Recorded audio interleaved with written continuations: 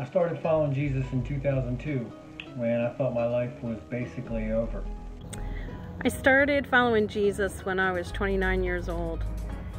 When I was 11, I started following Jesus and was baptized, but after high school, in fear and doubt, I turned away. Through the power of the Word of God and the Holy Spirit, He turned my darkness into light and my fears into faith. I started following Jesus when I was about 25. He has written a beautiful story for me and has transformed me from an enemy of God to a child of God.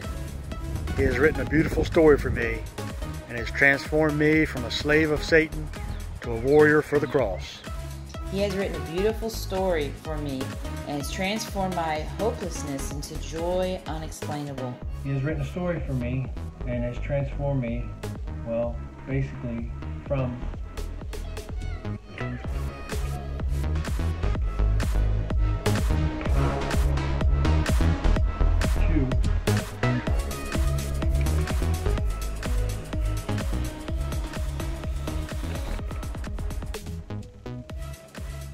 What Jesus did matters. My story matters. My story matters. My story matters.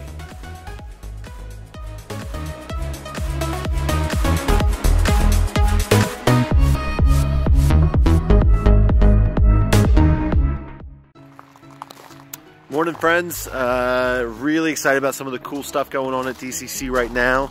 Uh, from uh, those cool stories you just heard uh, to the new message series that we've launched, telling some of the stories of Jesus and looking at them fresh, um, to you know even just the opportunities that we have to begin to phase back into those live uh, worship services. Just really, really excited about everything going on, and we want to hear your stories too.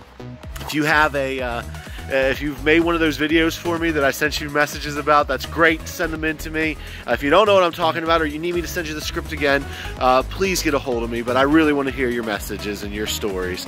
Thanks, guys. We'll talk to you soon.